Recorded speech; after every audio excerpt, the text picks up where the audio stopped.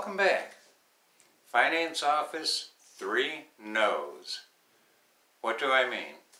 So you've made your deal, you've got the buyer's order, you're now in the finance office to finalize everything and you're sitting across from the finance person and either behind them on the wall, somewhere back here, as you're facing them, or they'll put a laminated paper in front of you and it'll be, here's the extras that are most popular. Here's our most popular package right here.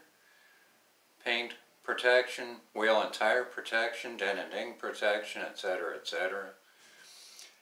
And this is our most popular.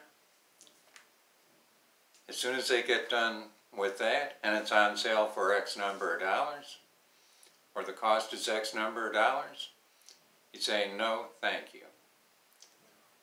Well, can I ask why? Not interested? No, thank you. And if I say no a third time, it says I'm getting up, walking out, and leaving. Here's the numbers we agreed to. This is the numbers that are final. Let's get it done. Remember, don't ask me again because I'll say no and I'll be leaving as I say it.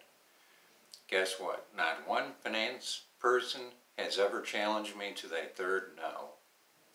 Never. So we'll see you next time through with another method of rejecting the finance office in a hurry. Take care.